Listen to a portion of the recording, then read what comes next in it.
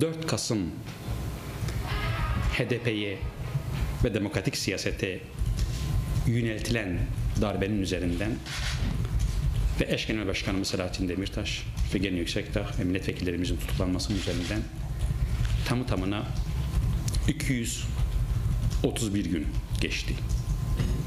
7 ayını doldurdu, 8. aya girdi. O günden bugüne her fırsatta ifade ediyoruz. Geciken adalet, adalet değildir. Eğer bir yerde hukukun üstünlüğü yoksa, bir yerde, bir coğrafyada, bir ülkede yargı bağımsız değilse, yargı muhalefetin susturulmasının sopası haline dönüştürülmüşse, orada adalet değil, orada yargı değil, orada tuzun kokmuş hali vardır. Deli basın mensupları, HDP'nin eş başkanlarının tutuklanması, siyasetten düşürülmesi çabası, HDP'nin tasfiye edilmesi çabası hukukla, adaletle, yargıyla izah edilir hiçbir yanı yoktur. Defalarca ifade ettik, bir kez daha ifade ediyoruz. İktidar partisinin muhalefetini ve AKP Genel Başkanı, Cumhurbaşkanı'nın rakibi olan Selahattin Demirtaş'ı Figen Yüksekdağ'ı tasfiye etme operasyonuyla biz karşı karşıyayız. Ve yargı bu manada HDP'ye dair açılan bütün davalarda, milletvekillerimize dair açılan bütün davalarda talimatla işliyor.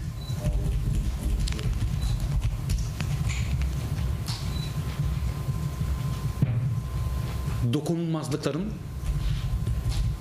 genel kurul safhasına görüşmeye, genel kurulda istişare edilmesine henüz başlanılmadan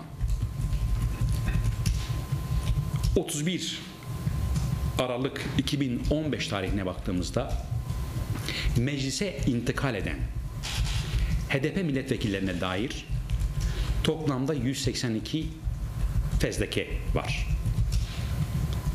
Ancak gelin görün ki Cumhurbaşkanı açıklama yapıyor. Cumhurbaşkanının açıklamasından en fazla 1-2 hafta sonra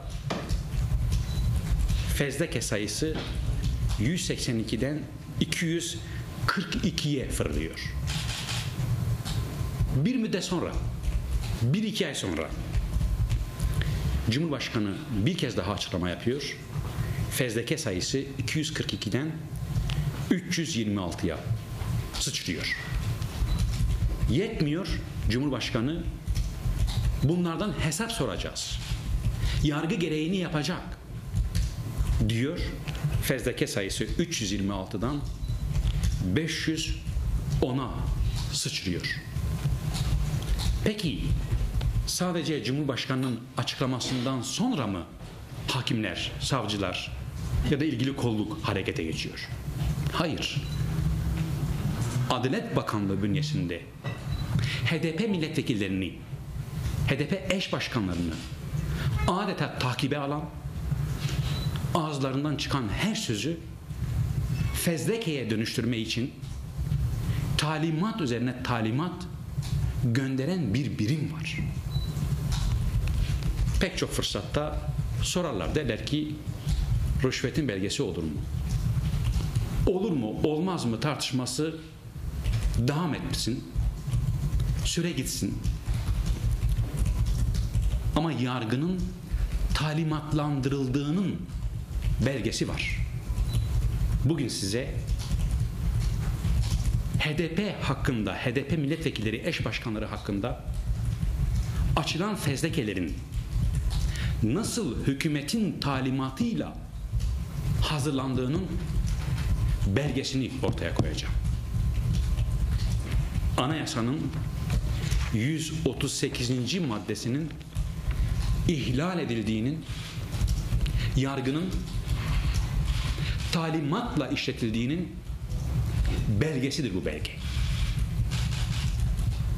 Bu belge Selahattin Demirtaş eş genel başkanımızın Diyarbakır Asliye Ceza Mahkemesi'nde sehfen bize ulaşmış gizli bir belgedir.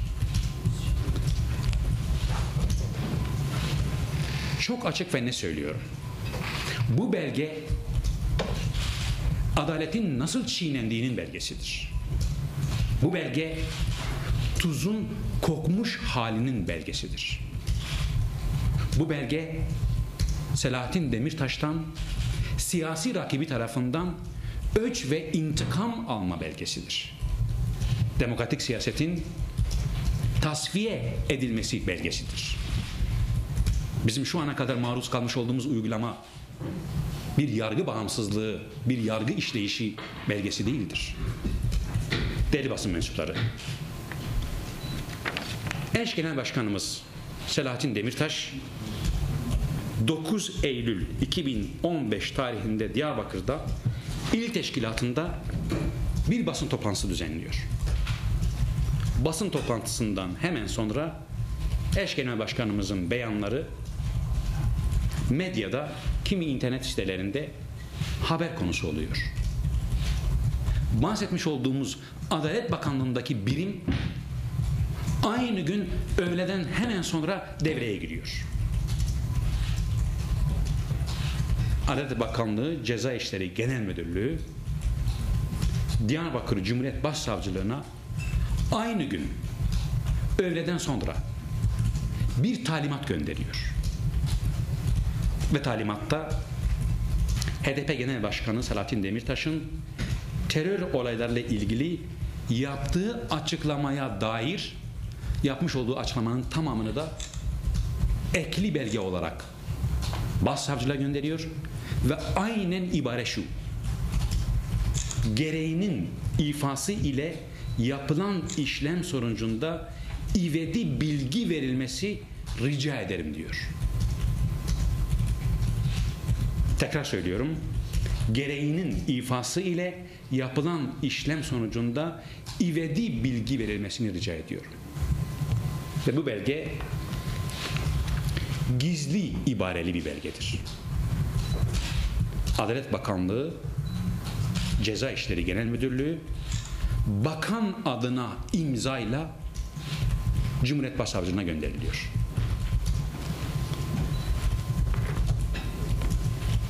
Gereğinin ifası ile yapılan işlem sonucunda ivedi bilgi verilmesi demek ne demektir?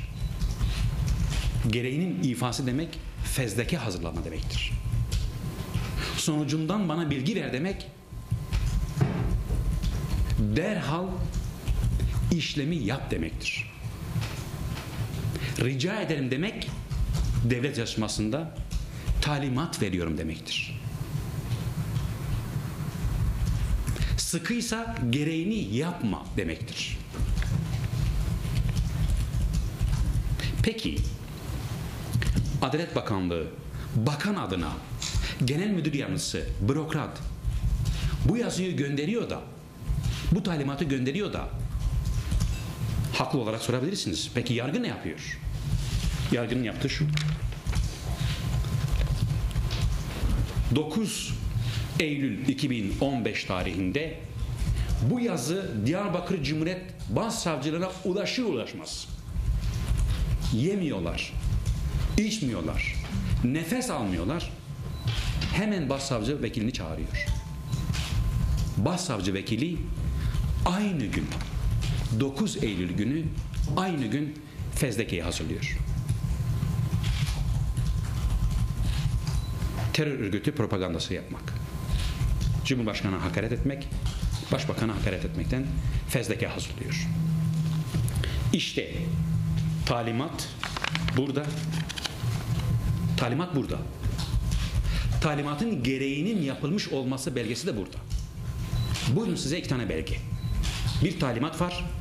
Bir de talimatın gereğinin aynı gün yapılması var. Talimatın gereği yapıldı. Sonrasında ne oluyor? Bu fezleke Selahattin Demirtaş hakkında eş genel başkanımız hakkında üç ayrı iddianameye, üç ayrı dava dosyasına dönüştürülüyor. Bu dava dosyalarından bir tanesi den dolayı şu anda Selahattin Demirtaş eş genel başkanımız tutukludur. Talimatla oluşturulan bir fezleke, talimatla oluşturulan bir dava ve talimatla tutuklamadan bahsediyoruz.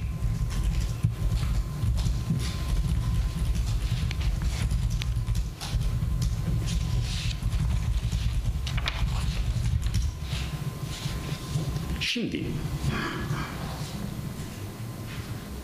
birkaç gündür anayasanın 138. maddesinin ihlal edilip edilmediği tartışması yürütülüyor. Dünyanın hangi yerinde Adalet Bakanı adına yargıya gereğini yapın, işlem başlatın talimatı gidebilir. Çok açık, net, bariz bir şekilde anayasanın 138. maddesi ihlal edilmiştir. Eğer bu rutin bir uygulamadır diyorsanız ey Adalet Bakanı niye bu belge üzerinde gizli ibaresi var? Eğer bu bir suç duyurusudur diyorsanız niye talimat gönderiyorsunuz? Suç duyurusunu başbakanlık yapabilir. Suç duyurusunu Cumhurbaşkanı yapabilir. Suç duyurusunu bir şahsın kendisi yapabilir. Gider savcılığa dilekçe verir. Şu şahıs benim hakkımda böyle konuşmuştur. Ben bundan şikayetçiyim, bundan davacıyım diyebilir. Hakimler, Savcılar Yüksek Kurulu'nun aynı zamanda başı olan Adalet Bakanı adına Cumhuriyet Başsavcılığına gereğinin ifasını rica ediyorum. Yani gereğinin ifasını, ifasını yerine getir talimatını veriyorum dediğin bir yazıdan sonra gereğinin ifasının yapılmaması demek astın üstüne talimatına uymaması demektir. Ve bu bir disiplin suçunu gerektirir. Çok açık ve ne söylüyorum? Devlet ricalinde, devlet konuşmasında, devlet yazışmasında yani kamu yazışmasında rica ediyorum demek üstün aslına hiyerarşik olarak kullanmış olduğu bir dildir. Çok açık, çok bariz ve çok net. Şimdi müsaadenizle bugün bu belgeyle yetin, yetiniyorum. Ayrıca ayrıca talimatla fezleke hazırlanıyor, talimatla dava oluşturuluyor ama bütün yargılama safhası bütün yargılama aşamaları yine Adalet Bakanı'nın gözetimi, denetimi altında gerçekleştiriliyor.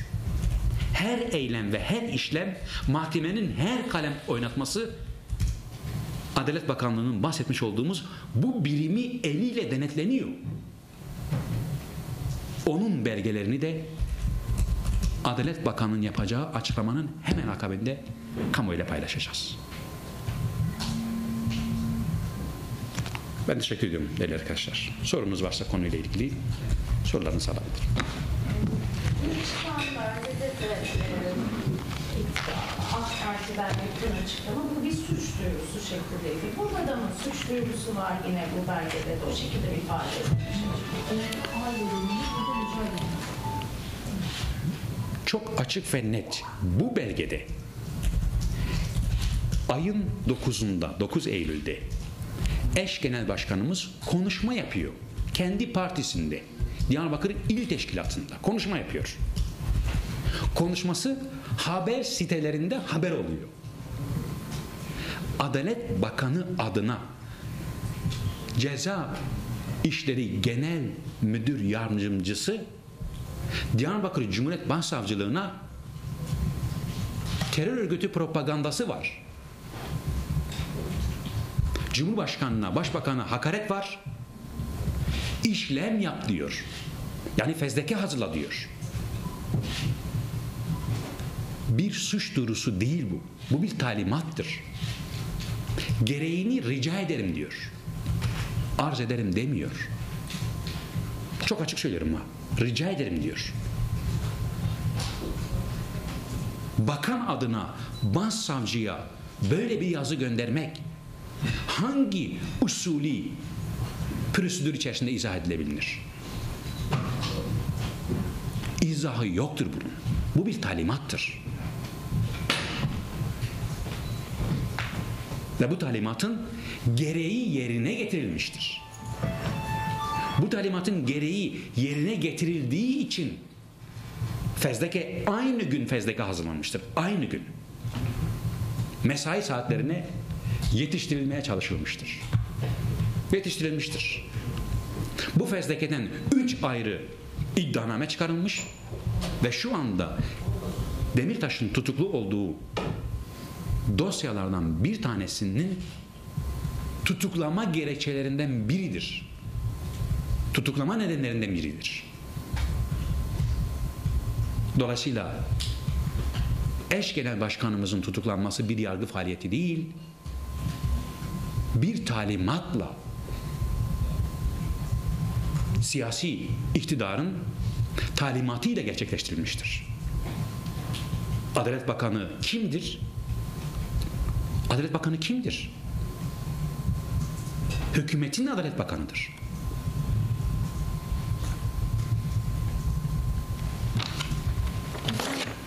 Belki absürt gelebilir sorun ama e, hukuken ne yapılabilir bunu buna karşılık? Hani öncelikle CHP'de açıkladı belge, siz de şimdi belge açıklıyorsunuz. Daha sonra da açıklanacak belgeler var. Belki kimi kime şikayet ediyorsunuz diyebilirsiniz ama hukuken ne yapılabilir buna karşılık?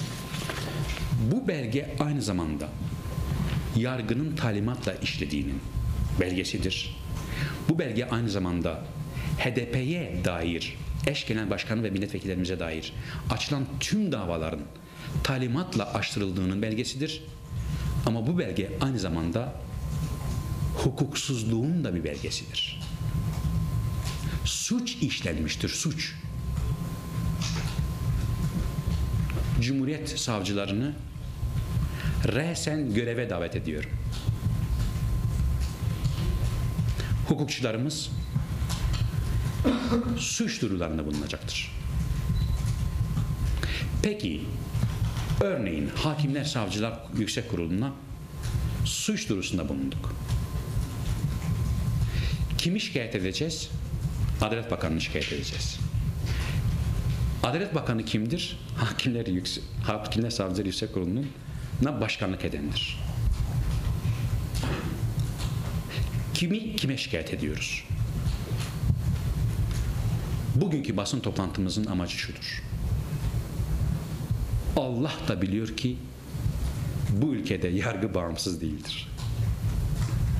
Allah da biliyor ki bugün Selahattin Demirtaş tutukluysa bu bir hukuki münaza değil, bu rakibinin kendisini düşman olarak görmesinden ve onu tasfiye etme sahikinden, kininden kaynaklıdır.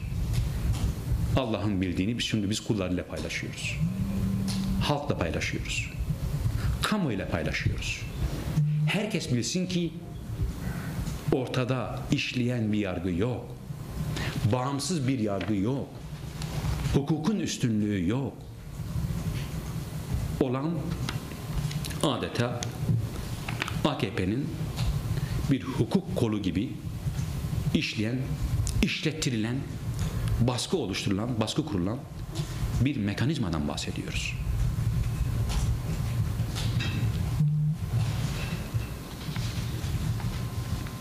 Başka sorusu varsa. Bu hükümetten yanıtlar geldi mevcut lideri Devlet Bahçeli'den de bazı açıklamalar geldi. Bunları nasıl yorumladınız?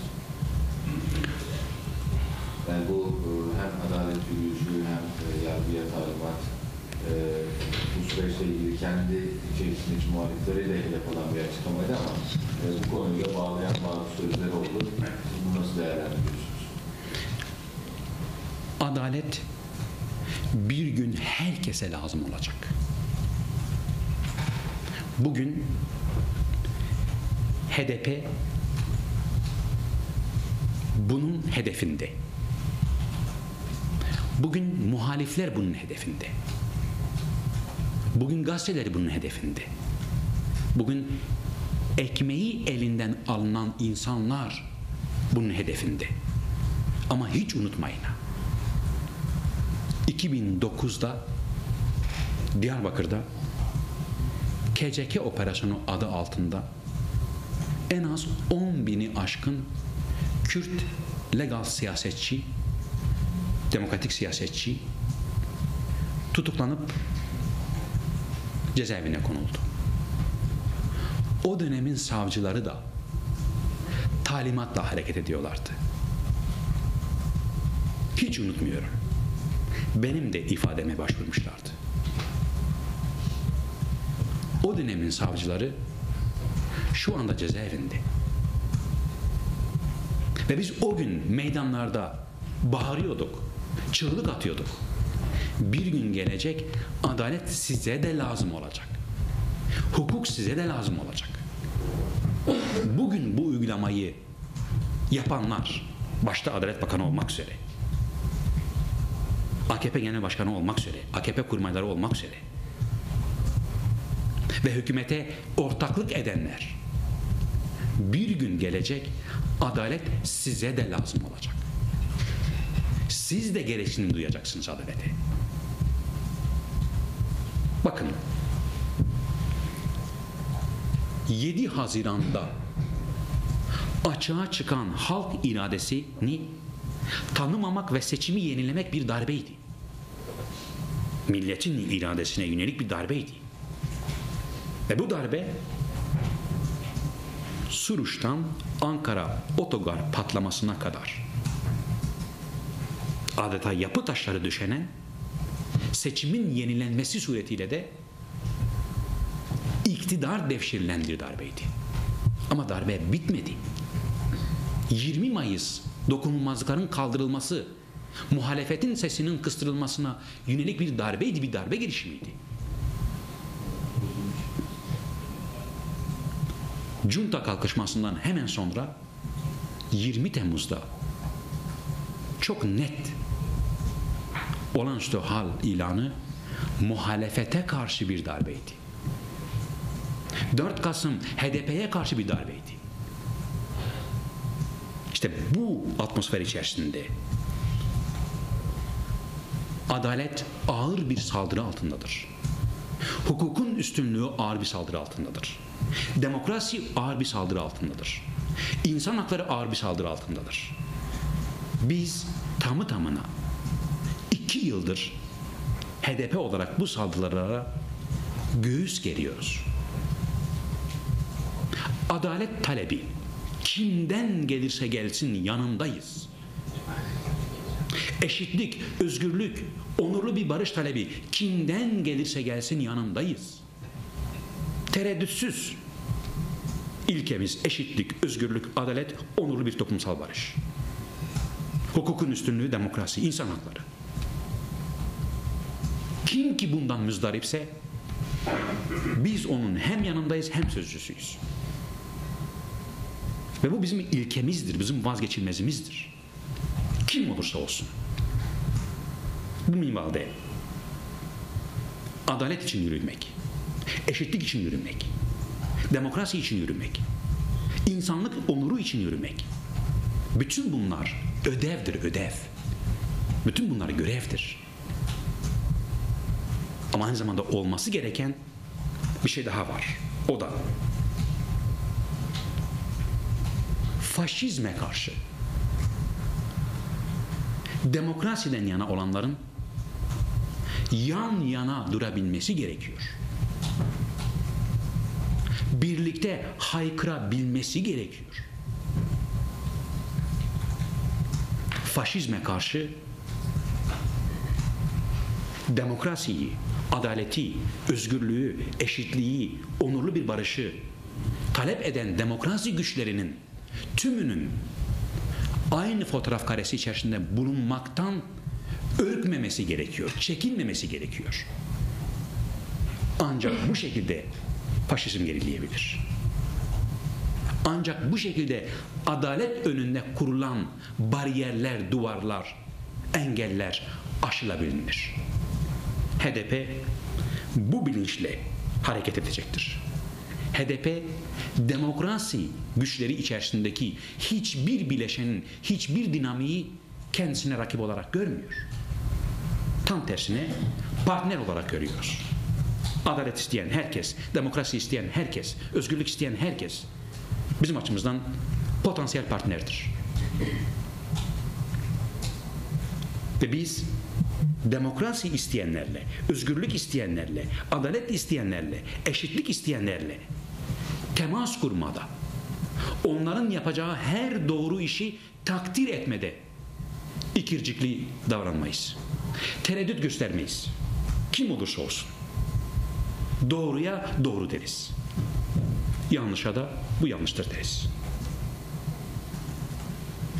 Son olarak da bize yöneltilen olduğundan farklı gösterme ne olursa olsun. Çünkü hükümet, AKP her demokratik hak talebini, her eşitlik talebini, her özgürlük talebini yani demokrasi kuramı, kavramı ve demokratik mücadele kulvarı içerisindeki her muhalif sesi kriminalize etme, olduğundan farklı gösterme konusunda bir gayret içerisinde. Bu gayretin ne olursa olsun biz mücadele etmekte de kararlıyız. Müsaadeniz olursa son sözümü de ifade edeyim bu konuyla ilgili. Bütün bu kör dövümü ve adalet arzusunun kapısının en azından aralanmasını sağlayacak mekanizma bu manada Anayasa Mahkemesi'dir. Anayasa Mahkemesi tamı tamına 231 gün geçti. Halen kararını dekere etmedi. Oysa ki bizim izahatımız, bizim çağrımız, bizim çığlığımız açık ve nettir. Hukuktur hukuk. Adalettir. Anayasa Mahkemesi iştihadına sahip çıksın. Kararını dekere etsin. Kararını açıklasın. Budur. İştihadına sahip çıkması demek, çok açık söylüyorum, bu hukuksuzluğun hukuksuzluğun sürdürümünü durdurmak demektir.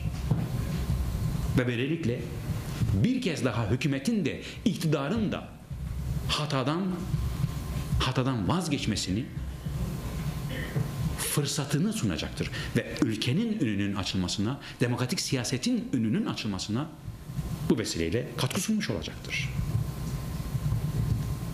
Bir kez daha geciken adalet adalet değildir duygusuyla çağrımızı ineliyoruz. Ben çok teşekkür ederim arkadaşlar. Sorularınız için, katkılarınız için. Son, son olarak e, Cumhuriyet Halk Partisi lideri Kemal Kılıçdaroğlu şu an adalet yürüyüşünü gerçekleştiriyor. Verecek misiniz? Yani direkt katılacak mısınız? Ya da böyle bir katılmayı planladınız ama aynı fotoğraf karesine yer almamak gibi bir ibare de kullandınız. Böyle bir durum mu söz konusu? Ben şu anda sorunuza yanıt verirsem bir önceki konuşmamı yinelemiş olacağım. Dilerseniz sizin e, bundan iki dakika önceki konuşmam sizin sorunuzun yanıtı olsun. İlkesel düzeyde demokrasiyi, özgürlüğü, eşitliği, adaleti isteyen herkesin yanındayız biz. Kim olursa olsun. Türkiye demokrasi güçlerinin tümünün yanındayız. Ve Türkiye demokrasi güçlerinin tümünün adalet çağrısında, adalet isteğinde yan yana durmaktan imtina etmemesi gerektiği çağrısında bulunuyoruz. Aynı fotoğraf karesi içerisinde bulunmaktan imtina etmemesi çağrısında bulunuyoruz. Hükümet Erdoğan bizi olduğumuzdan farklı gösterir kaygısına kimsenin kapılmaması gerektiğini düşünüyoruz. Çok teşekkür ediyorum arkadaşlar.